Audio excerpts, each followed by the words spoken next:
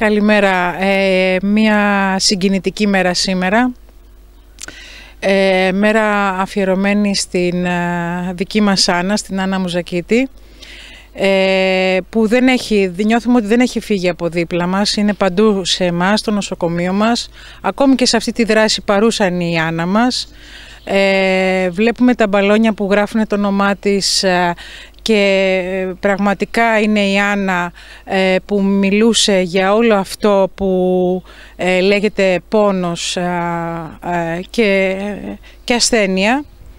Ε, αισθανόμαστε πολύ περήφανοι και οφείλουμε ένα μεγάλο ευχαριστώ στην Άννα μας αλλά και στην οικογένειά της ε, που όλο αυτό το χρονικό διάστημα ε, είμαστε μαζί, συνεργαζόμαστε και εκείνο που κάνουμε είναι να λέμε ότι πώς ποδηγετεί η Άννα μέχρι σήμερα και πώς θα ποδηγετήσει και από εδώ και στο εξής. Ευχαριστώ πολύ.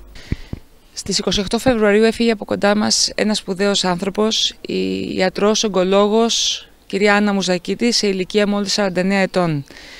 Ε, είναι ένα βαθύ πλήγμα για την κοινωνία της Κέρκυρας και ιδιαίτερα για την ιατρική κοινότητα και το λιγότερο που θα μπορούσαμε να κάνουμε σαν Δημοτική Αρχή, σαν Δήμος Βόρειας Κέρκυρας είναι η δράση σημερινή που αφορά στην πρόληψη κατά του καρκίνου του τραχύλου της μήτρας.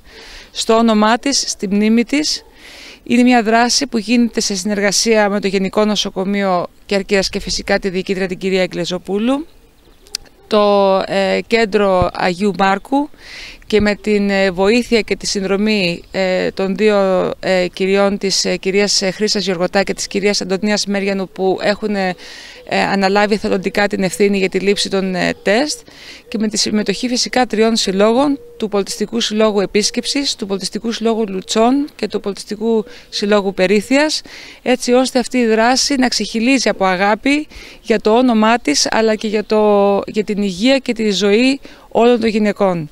Σας ευχαριστούμε πάρα πολύ για τη συμμετοχή, ευχαριστούμε πολύ τις γυναίκες για τη συμμετοχή και όλους όσους συνδράμανε στη δράση αυτή. Ε, είναι συγκινητική μέρα πράγματι σήμερα.